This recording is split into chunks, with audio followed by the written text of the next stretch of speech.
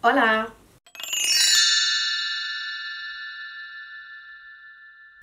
Hola tata y todo, bienvenido una vez más al canal. Yo soy María, me encontráis en todas partes como Pórpora, por pitar. Si es el primer vídeo mío, mido, mido, mido, mido. Si es el primer vídeo mío que veis, os invito a quedaros conmigo, a suscribiros al canal, a darle a suscripción y a campanita para que os avise YouTube de cuando yo suba contenido nuevo. Y hoy vengo con uno de esos vídeos que os encantan, que es novedades de Mercadona. Sí, lo sé, Mercadona está subiendo los precios. Y sí, lo sé, en gran parte es porque le hacemos mucha publicidad gratuita. Pero es que mm, os encantan los vídeos de Mercadona y me los pedís. O sea, es que me hace gracia que cuando salen colecciones de Mercadona me, etiquetáis, me mandáis fotos, cuerpos, vídeos. y yo, pues nada, allá que voy a Mercadona a por las novedades para haceros mi reseña particular. Y bueno, ha salido una nueva colección que se llama I Lovers, I Lovers y consta de tres sombras de ojo metalizadas, tres lápices perfiladores a juego y tres máscaras de pestaña también metalizadas. Así que lo que yo he querido hacer en este vídeo es probar los tres tonos en plan look monocromático mmm, setentero, sesentero. Son sesenteros, ¿no? Los looks esos que había de todo el ojo entero con una misma sombra, todo igual, así monocromático. Pues en ese plan. Así que he cogido y he utilizado la sombra azul con el rímel azul y con el lápiz azul, la verde con su correspondiente y en este caso la que llevo, que es la última que me he puesto, que es la cobriza. Os cuento un poquito de qué va la colección. Como os decía, la colección consta de una sombra monocromática de cada color, hay tres tonos diferentes esta es la número uno, que es verde, es tan dura, ¿eh? Y a mí me da miedo siempre de meterle la uña cuando hago estas cosas. Son así, chiquititas. Yo odio las sombras monocromáticas, así de claro os lo digo, porque es que se me olvida que las tengo, ahora las, dejo por ahí en la festita de las sombras, o sea, monocromáticas no me refiero, me refiero a sueltas, que no están en paleta. Y luego se me olvida que las tengo. Bueno, esta como os digo es la número uno, viene así, eh, son de acabado metalizado. Bueno, ahora os hago swatches de las tres a la vez. Y esta es la verde, eh, después tenemos de esta misma línea verde, tenemos el perfilador, el lápiz, que me han encantado. Ahora os lo diré en las conclusiones, pero los perfiladores están genial. También metalizado y su máscara de pestañas a juego, también de acabado metalizado. Os voy a swatchear las tres sombras para que veáis cómo son, aunque en el vídeo que os he hecho grabando clips de cada una de ellas lo vais a ver. Ahí tendríais los tres tonos, 1, 2 y 3, ¿vale? Este es el orden. Tengo la ligera sensación de que el cobrizo, el 3, es el que mejor pigmenta de, todos. De hecho, antes cuando me la he extendido en el, en el dedo, también me dio la impresión de que la cobriza es la que más se extiende. Y ahora me ha pasado igual. O sea que la cobriza, no sé por qué, es la que más pigmento tiene. Después los lápices, también os los voy a swatchear. Este es el 1, que es un verde turquesa muy bonito y me gusta porque es más oscuro que la sombra, por lo tanto se puede delinear. El azul también es muy bonito, pero es más claro que la sombra. Entonces al poner la sombra como cosa monocromática y después el azul, casi no sirve para delinear. Y por último el marrón, que sí que es más oscuro que la sombra, de hecho es un marrón tirando grisáceo, muy bonito y sí sirve para delinear, es el que llevo ahora mismo puesto. Primero que yo no soy de azules y segundo que es la que peor pigmenta, tanto la sombra como el lápiz, es la que descartaría en un momento dado. En los verdes tampoco penséis que yo soy muy fan, pero bueno, mm, me disgustan menos. Y nada, vamos a empezar con, los looks y eh, después vuelvo con mi conclusión. Bueno, bueno, pues aquí tengo los, las novedades. Y mi intención es probar los tres looks, porque teóricamente es como tres looks distintos de colores así intensos. Entonces, mi intención es probar los, tres, si no me dejo los ojos en el intento. Y el uno sería los tonos verdes. Así que la sombra la vamos a abrir, la número uno. Y es este tono de verde. Y empezamos con la sombra número uno, que es un color verde esmeralda metalizado. Como veis es muy pigmentada y con muchísimo reflejo brillante.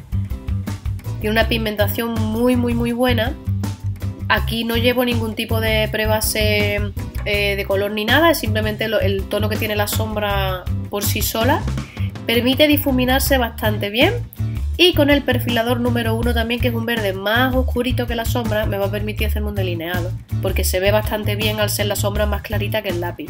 Estos delineadores están muy pigmentados, son muy cremosos y eso permite aplicarlo bastante fácilmente y difuminarlo mientras todavía no está seco.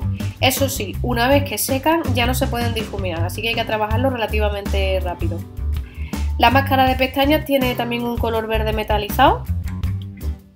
La verdad es que el color sí que se ve bastante bien, si no se destaca más en el vídeo es porque llevo el eyeliner también en verde, porque es un look monocromático, pero sí que se notan bastante. Y como veis, peina muy bien, las levanta, pero no las engrosa. La sombra número 2 es un azul bastante clásico, también muy metalizado y con muchísimo reflejo. Esta me da la impresión de que pigmenta un poco menos, o al menos que el color es menos intenso que la verde. Aunque también pigmenta bien, pero no sé, me da la impresión de que el color es menos rico y es un celestón, así que a mí particularmente no, no son de los colores que más me gustan ni que más me favorecen, pero bueno, aquí la probamos también para que podáis ver todos los colores de la colección. Yo es que particularmente no sé por qué no me veo con azules y menos con estos azules tan claros. El perfilador también pigmenta muy bien, lo que pasa que en este caso es prácticamente igual de claro que la sombra, por lo tanto no se distingue tan bien como en el caso del verde eh, la posibilidad de hacerle un eyeliner. Si os dais cuenta la parte de abajo está hecha con lápiz y el color es prácticamente idéntico que la sombra que tengo puesta arriba. Entonces no hace las funciones tanto de delineador. La máscara sí que es muy bonita, las máscaras azules sí que me gustan. No sé por qué las sombras no, pero las máscaras azules sí que me gustan. Me parece que hacen un contraste muy chulo cuando llevamos por ejemplo un eyeliner negro. Y bueno, también tiene acabado metalizado, no es mate para nada y, deja como un brillito así muy curioso a la pestaña y sí que me, me gusta.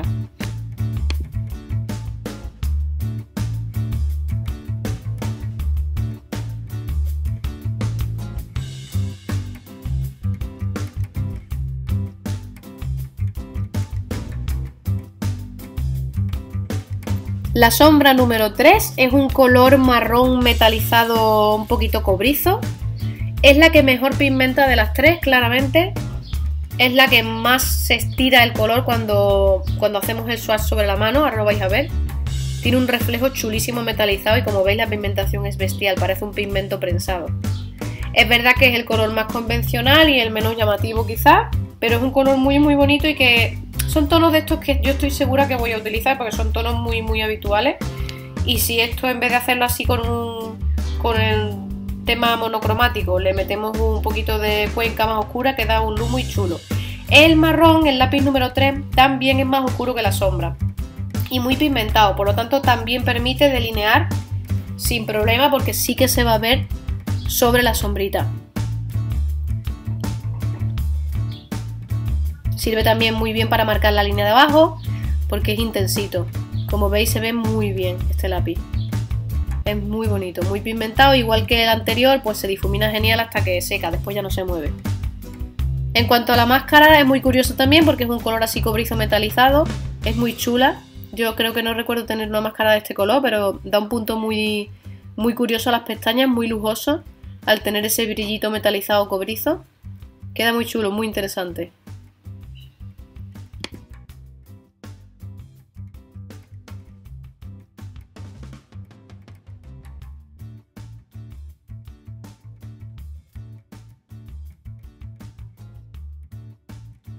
Habréis visto durante el vídeo que me he ido poniendo blanca por momento, porque claro, me he, ido, me he ido maquillando los ojos, retirándome el maquillaje de ojo y por lo tanto también la base y el corrector y ahora reaplicando base corrector y polvo y volviendo a maquillar y me he tenido que hacer un cristo considerable en la piel. Pero bueno, todo sea por la ciencia. Y nada, que conclusiones. Esta colección en general me ha gustado más que la anterior, que me parecía todo una copia de colecciones anteriores que tuvieron. Si bien es cierto que la sombra mm, no está nada mal, pero el formato me parece incómodo porque ya os digo que yo no soy de sombra suelta, pero se me olvida que las tengo. Yo preferiría una paletita y además son tonos un poco, mm, no sé, o esto o lo mezclas con otro montón de tonos metálicos y lanzas una paleta de, tonos metalizados muy buena, muy pigmentada, o estos tres tonos así entre sí no tienen mucho que ver. Los lápices están muy bien, me gusta bastante la fórmula, sobre todo del verde y del marrón, me gusta bastante la fórmula. Es muy cremosa, se puede difuminar mientras que está recién aplicado, pero luego una vez que seca se queda bastante fija. Y me han gustado bastante los perfiladores.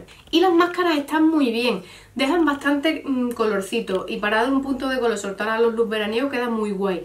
Ya las he probado también con un delineado negro y resalta mucho los colores. O sea, si te pones un delineado negro y te plantas la máscara azul o la verde, se ve mm, de colores y queda muy guay. Y lo que hacen es eh, peinar muy bien y levantar la pestaña, pero no dejan densidad. Eso sí no he notado porque yo sabéis que soy muy fan de las máscaras muy, muy potentes. Entonces yo lo que busco es todo.